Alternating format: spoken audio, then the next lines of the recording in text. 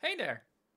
And welcome to this video about how I recently moved my Hugo site and its content over to another repository. So I split my content from the actual website. And in this video, I'm going to talk about why I actually did that and how I did it. One of the reasons that I splitted my content was that I wanted to reuse this content whenever I'm going to test out a new framework or a new static site generator. And I do this for testing out FrontMatter CMS. Another reason is to make this content available to you and readers of my blog to make changes to it whenever they see that something is missing or that there's a typo. So that makes it easier for me to share my content and to do contributions to it. So to start, it's all about moving the content. So let's go to GitHub and there you can see how I structured the new repository. In this new repository, there is a content folder uh, which is coming from Hugo and there I have my posts and all the markdown files are in it. I also have my static folder in which I have my media assets. As I'm also using FrontMatter, I wanted to keep the frontmatter.json file closer with the actual content, so I also moved it over to this repository. In the file, I did a couple of changes, like I updated the public uh, folder path to .frontmatter and also the page folders. That will be my new location that I will need to configure inside the actual Hugo project. When moving over to Visual Studio Code, this is where I manage my website, I want to open a new terminal in order to start linking the submodule to my current project. I can do so with the git submodule add command. There's one argument that's really important for me, that's the dash b main argument, which is actually defining the main branch of the submodule that I want to add. Depending on how much content you have, it will take a while before that takes in place. So I speed up the video. Once the content is downloaded, we can actually do one more command. And the next command is to ensure that we always do merges when we retrieve changes from our submodule. So once you run this command, you will see that in your .git modules file that there is like a branch set and also an update strategy. So now that we have everything in place, it's time to configure FrontMatter. In my root, there I find my front FrontMatter.json file, which contained the previous configuration, which we don't need anymore because we just need to reference the FrontMatter.json file coming from our new blog content repository. And the only thing that we need to do is add the frontmatter.extends setting and then reference it to the .frontmatter slash frontmatter.json file.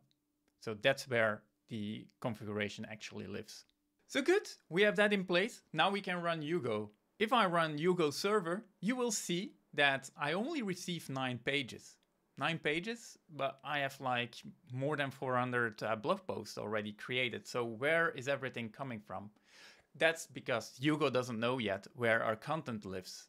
And Previously, I was trying it out uh, together with Astro, and there I had to symlink my content and my asset folders. Now with Hugo, you don't have to do that. Hugo just expects a configuration to remap your content and assets folder. So if you go over to your config.yaml file, you can place this kind of configuration in it and then the moment you're going to run Hugo server again, you will see that all of your pages are now getting recreated correctly. That's a great thing. When it comes to updating your submodule, I have a new GitHub Action workflow in place. And this GitHub Action workflow, the only thing that it does is the moment something is pushed over to the submodule repository, it will trigger my website build. So let's give this a try. Over here, I already created a new content file. And when I move over to the source control panel in Visual Studio Code, I can see that the submodules have changes. All I need to do is write a commit message and then do the syncing and it will automatically start everything. So once syncing is done, I can move over to GitHub to the content project and there I can see in the actions that there is an action already triggered. It goes pretty fast because the only thing that it needs to do is trigger the build. So once that is done, I can check on the website where the actual build process is going to run if there is a new build running for me. So now that we know that build is working, we can actually move over to the content management. On the content management side, that's where I wanted to give others the ability to do changes to it if they spot an issue in the content or something is missing or even a typo. Now you can move over to the blog repository, open a markdown file and do a change to it. Once you did a change, you can do a PR. In my case, I'm going to commit and then I can retrieve this commit within Visual Studio Code to easily retrieve the new changes that were made online. So I just waited until the git commit was done. Now I move over to Visual Studio Code and there I run git submodule update dash dash remote. And this makes sure that I get the latest change that happened on the submodule repository. So once that is done, I can see the change live in Visual Studio Code. Thank you very much for watching this video and I hope you learned something from it or might even give it a try in your website project. So I would love to hear what your thoughts about this are. So feel free to leave a comment uh, down below. Thank you very much. See you next time.